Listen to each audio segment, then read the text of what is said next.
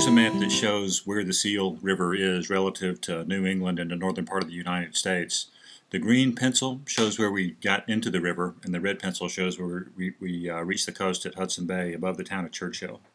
We drove to the town of South Indian Lake, that's as far as the road goes north in that region, and hired someone to carry us by boat to the northern end of South Indian Lake.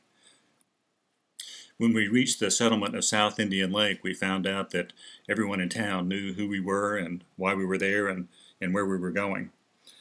Uh, we we uh, met Kelly, who uh, had a little trouble getting his boat started, but after about an hour's tinkering with it, was able to uh, get going. And, and even though he hadn't been to the, the north end of South Indian Lake for 30 years, Ben was an excellent navigator, and he, he took us uh, way further than we ever expected.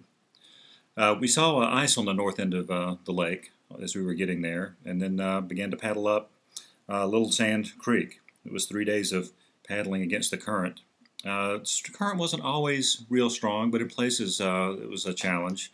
Biggest challenge was the log jams, quite a few log jams. We never had to portage around any. We were able to drag over and around most of them without uh, unloading our gear.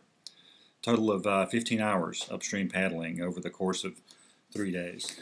So here you can see our meandering route between where we were dropped off and where we paddled up Little Sand River to Little Sand Lake.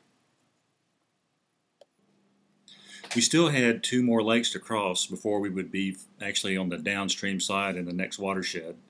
It was paddle across a lake, up the outlet stream that flowed into that lake, across the next lake, up the outlet stream, and each time the streams between the lakes would get a little bit smaller, more congested. At some places we did have to get out axes and saws until we finally could clear the path.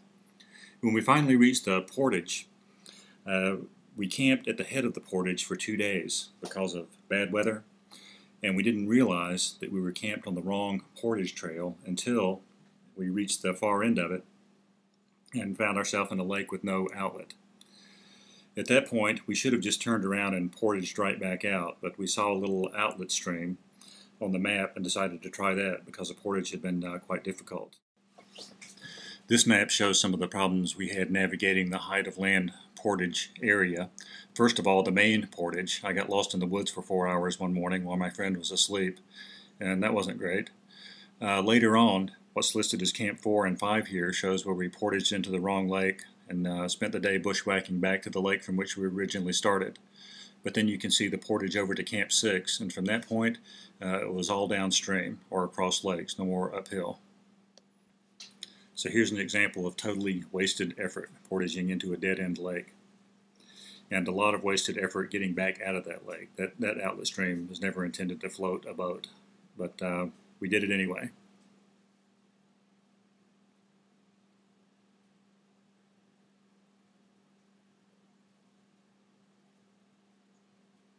We had some of our best weather at the beginning, beginning of the trip, and as we spent this day uh, bushwhacking through this little stream. We had uh, warm, sunny day, and for the next uh, day or two, we had the best weather we had.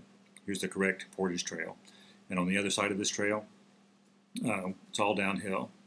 Now, all throughout the uh, watershed, the water was out of its banks, and many places where we expected to camp on beaches, we found the beaches totally underwater.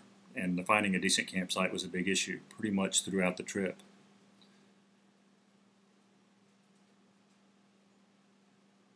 Welcome to camp.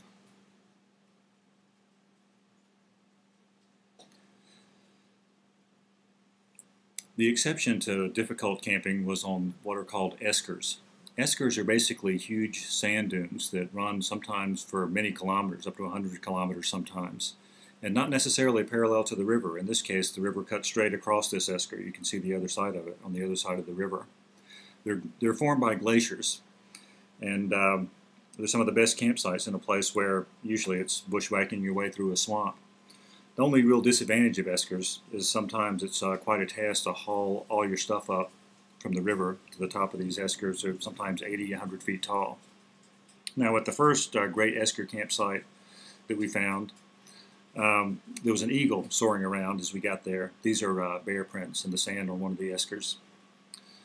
Um, and after we were hauling our, as we were hauling ourselves up from the bottom here, uh, these fish that we had uh, caught during the day and were planning to have for supper were stolen by an eagle. But the great thing about it is so easy to catch huge pike there that just before dark, with just a few casts, we were able to catch a, another big pike, and that was our, our uh, dinner that night and a great sunset was also part of the experience at that particular Esker.